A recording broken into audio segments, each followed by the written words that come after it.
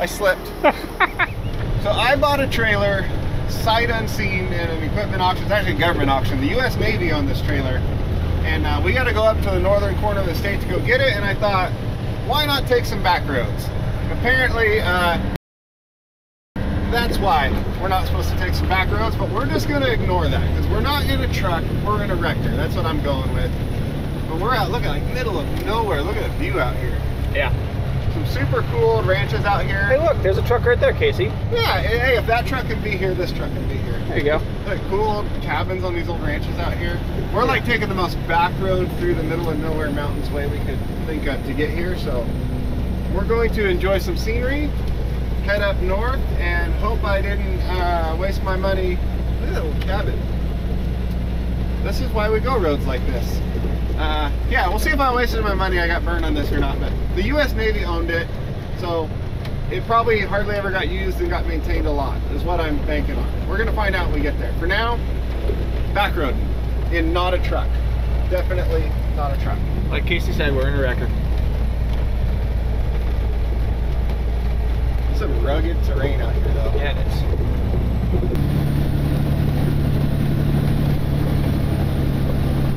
Gee, I can't imagine why they wouldn't want trucks out here on these roads. But why would I want to miss these beautiful views?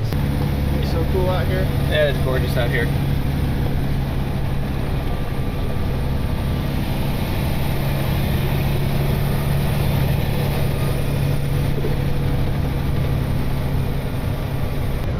So now we're up along the John Day River, heading out towards Spray. The river's moving too.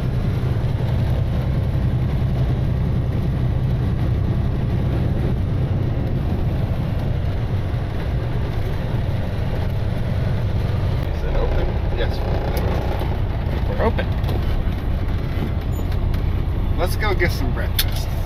If you're wondering how you get groceries if you live somewhere in the middle of nowhere like this, here's the grocery store. There's your produce. There's your meats and cheeses. And there's your beer. You got some dairy over there. That's uh oh some some onions. That's the grocery store. A substitute freezer. Oh. Oh, I think, hey, your favorite. Frozen pizza and ice cream. There you go. That's right, the good stuff. The good stuff. Casey's favorite. Okay, well, we got our sustenance uh, till we get up into civilization, and uh, we shall continue down the road. So, you coming back to go fishing? Probably. We heard all the fishing stories in there. Apparently, This big. this is the place to be if you want to do some fishing. So, I think Ethan's gonna make a trip back. I don't have patience for fishing, so I'm not gonna do that. Well, it's, uh, from what from what she tells us, it's more like catching. I don't have the patience for that either. No, No. There's work to be done. No time for fishing. no, no time to recreate. No. Work is recreation. Are you sure? There's a recliner on the porch. Finally, my people. I like it. It's a full-on like flower print recliner right It's- there. It's fantastic. Use Oh. the power of editing. Yeah. Yes. Oh, it's a love seat. It's a love Even seat. Better. For you and me, A flower print love seat. Notice I didn't stop. Yes. No, that's uh, let's turn the Jake brake off. Okay. Up the road we go.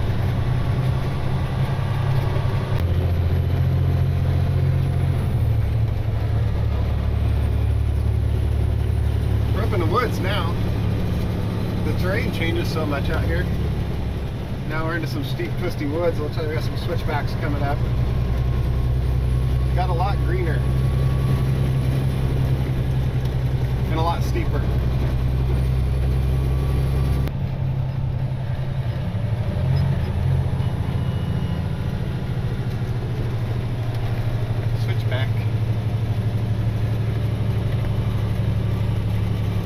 20 sharp. And when you gotta bend down to look up out the side window to see the road. This is a, like, this is how it is like back where I live or am from in Northern California. The steeper, twistier, windier stuff is like, this reminds me of back home. Green trees, steep, twisty, windy roads, like this is much more like back home.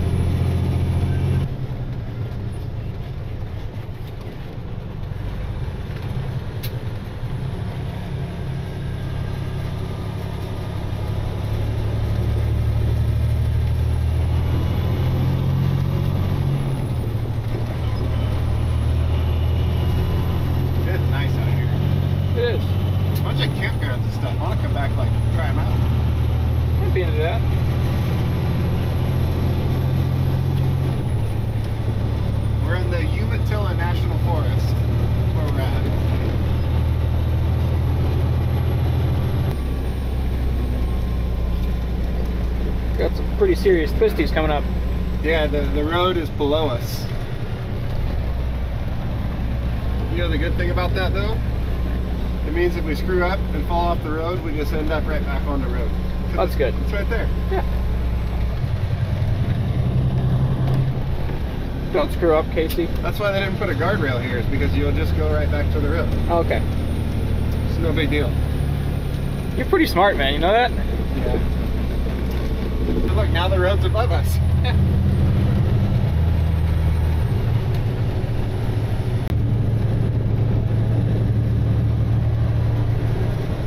Found a wind farm. Yeah, they've got it turned up pretty high today. Yeah. blowing around. Over Yeah. there, there's like where the big power lines come in, and then there's the the transformers, and then it sends the power to those and spins them. And, Yeah. This is where all the wind comes from. Yeah. They overdo it sometimes. They need to slow it down. Really, yeah, and chill. Man, they use so much power. You see how big the lines are? Yeah. Crazy. Where are we at, Casey? we are. Take Right. the exit on the right to I-84 East toward Pendleton. That's where we are. Yes. Okay. Also, can we take a second to appreciate all the locomotives over there? Holy crap! That is a lot. Oops, we got turn. That is a lot. I wonder if that's a work train and part of those are grinders and rail maintenance stuff. Who knows? Otherwise, Still that's on. a whole lot of locomotives all tied Yeah. in a row. We are 14 minutes away.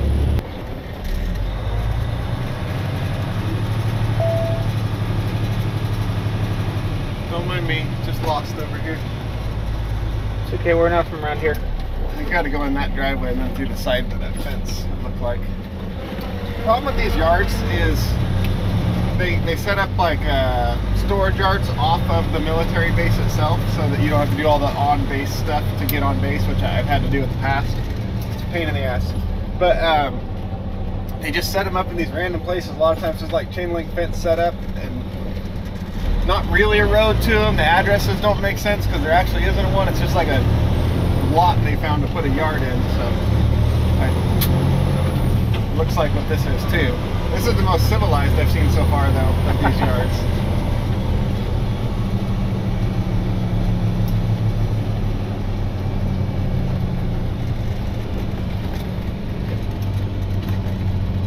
Oh man, they got all sorts of stuff here. Oh yeah.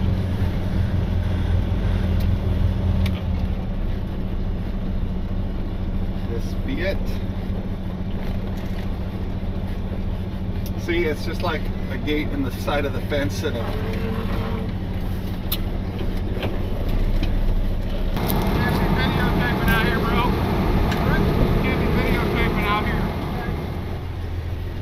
So even though we're off the active military base, boy do they get upset about some camera filming.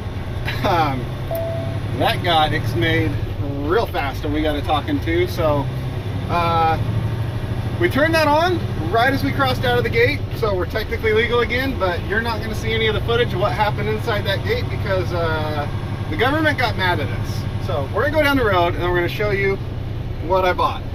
So, all that anticipation, like getting here to see it finally. And Yeah, then, right. uh, and I was also I was using a wheel adapter, something I've never like I don't think I've ever shown before. Yeah. Like actual in use, so that was cool to like show hooking up to it.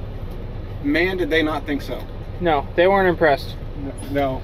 I think they were impressed that we had the balls to pull out a camera on the government base. uh, all right. Bye bye, government guys.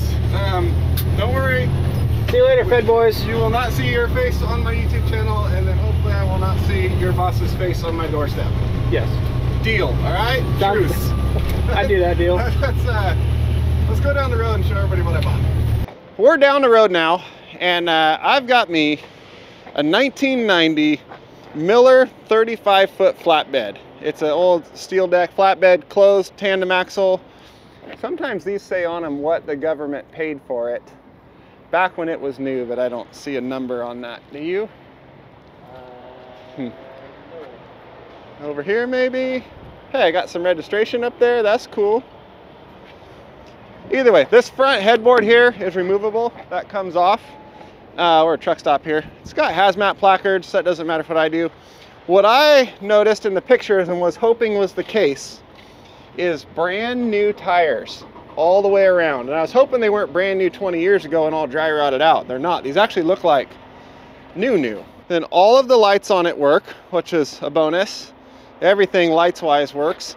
And then here's the other thing I noticed in the pictures. Brand new slack adjusters, camshafts, got good brakes on it. And then the springs all inside of there, all the springs look brand new. So they put all new brakes on this thing very recently and they converted it over to automatic slack adjusters. And that's all the way around. So that is very cool. You see brand new brake shoes on there. Actually, yeah, all these are brand new shoes. That's awesome. Hopefully that means they did, since they did new tires, new brakes, converted over. Hopefully that means they did wheel bearings and stuff too. I would bet they probably did. I mean, We got good hub oil on it. We got a hub meter on it. 19,535 miles on this trailer. Since this hub meter was put on. Who knows when that is. Maybe that's since it's like last rebuild or whatever. But it's got strap winches on it. Not a whole lot, but some. This kind of a rub rail here. 35 foot deck. This is not going to be a great like general freight trailer because it's, it's a 48 foot would be like the minimum for that. This is 35, but it will be a good shenanigans trailer. Does this have a price on it? Nope. And I don't want to do general freight. I want to do shenanigans, and that's what this would be perfect for. And my secret project that I talked about the last trailer I was looking at, yeah. this will work for that Okay. which is what I really need in a trailer for. That other one was super nice, but it was also a full aluminum trailer, and I don't need full aluminum. I really don't want full aluminum because full aluminum's got a big arch in them, and that'll kind of hinder what I want to do. This steel one, nice and flat. The combos with the steel frame and aluminum deck, they have a little bit of bow to them, not bad. That'd be fine. Uh, the other thing is kind of a bummer is I use my fifth wheel adapter here to hook up to this instead of chain slinging it. And we were filming how this all works when we got um, Uncle Sam said when no. when the Alphabet Boys came down on us. So uh, maybe when I get back home, I'll show you how all this couples together and works and goes and what's going on here. Actually, I know I'll do that. So for now, we're gonna go inside get some food, and then hit the road headed for home. We'll show you some cool stuff if we see it. If not, we'll show you how that works when we get there. Casey was yelling at us. Yeah, GPS. uh, me and the, the lady in the GPS, we we argue like all day and never agree on anything. So we're stopping here. We're just gonna pull over and check the temperature of the hubs. We've gone far enough. If they're gonna get hot, they would be hot by now, but not so far it would have melted down.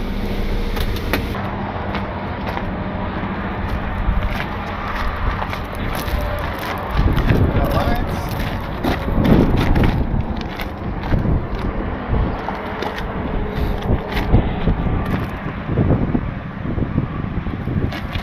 The ones in the sun are like 125, and the ones over here on the shady side are like 105.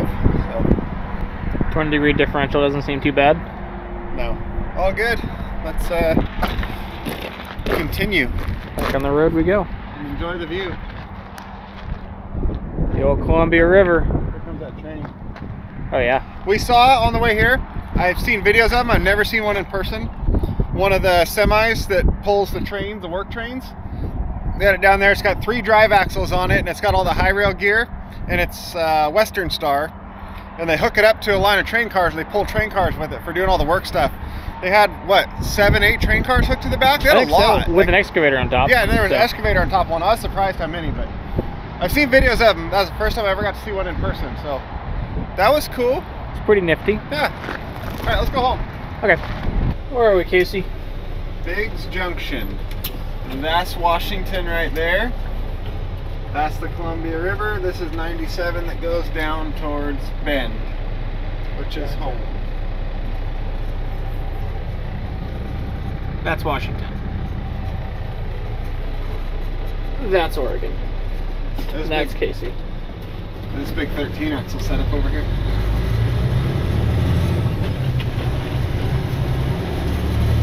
Casey's a big truck guy.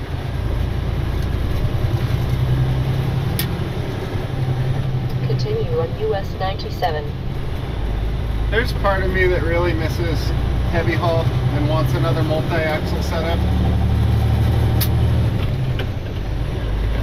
That's an Aspen. That's a nice, nice setup. Maybe one day.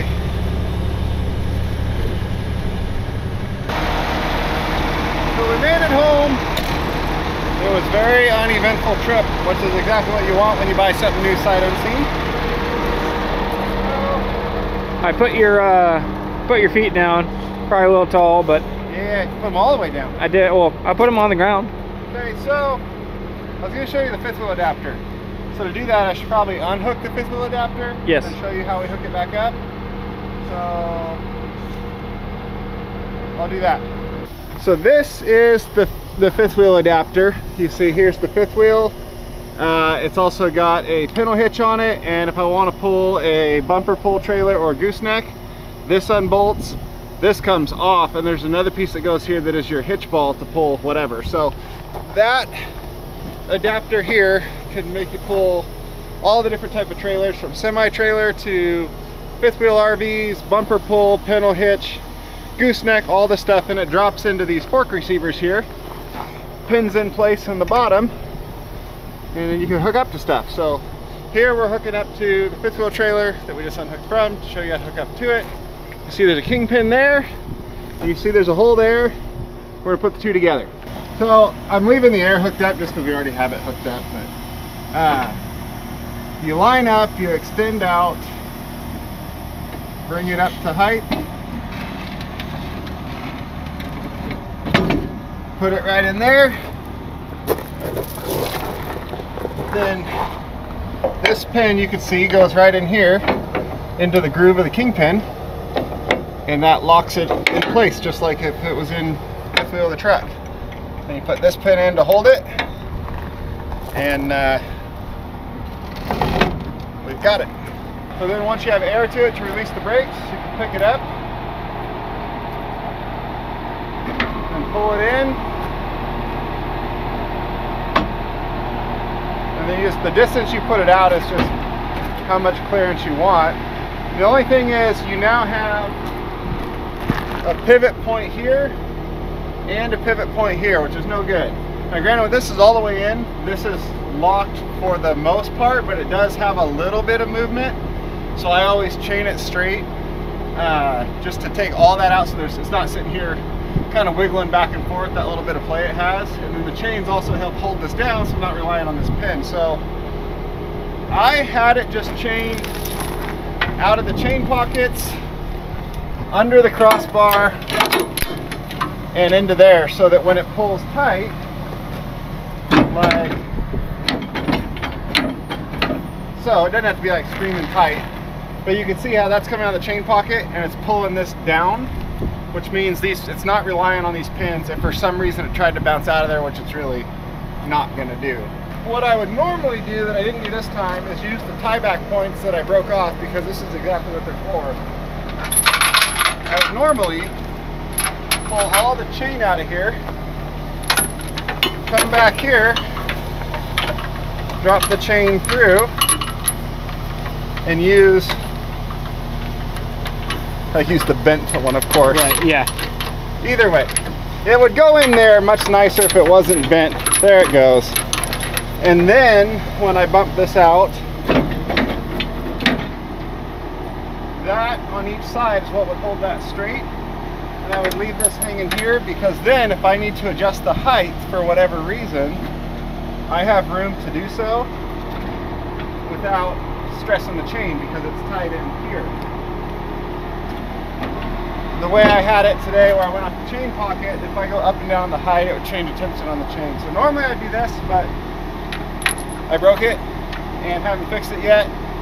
But in all reality, the very little amount of force that has to hold, this would hold no problem, but I didn't want to be hooked to it, going down the road, get inspected, and then I got to hook to a broken part, and then I get a ticket, and those type of things. So, but the same deal is once that's tight, it comes underneath, goes up here, hooks to this, and holds it down into the uh, uh, receivers, and that also kicks the receivers over so they can't do any wiggle and movement, and it takes all the slop out of this whole system. In all reality, this is totally unnecessary. You could just leave this up against there. It would have a little side-to-side slop. As you go forward and backward rocking, this would have a little bit of slop just in that there, but I like it all like no movement at all. So I chain it just out of preference. You could also use the hooks right there, either over the top or under the bottom. See, that kicks it to the side? Yeah. Because uh, we're out some. And same thing, that's gonna hold it all in place where it doesn't move. And these pins really are plenty because it's not gonna bounce up out of there, but I just prefer to hook to that side, just take all of the possible wiggle and movement out of there just to make it smoother. But since we're not doing any of that, we now, before we unhook our air, we extend this out. We're gonna park it right here for now so that we can work on it where all our parts are and stuff. Go over it, make sure it's all good to go. So now pull pin, which we're sitting against a little bit, but that's fine. And then we get out of here.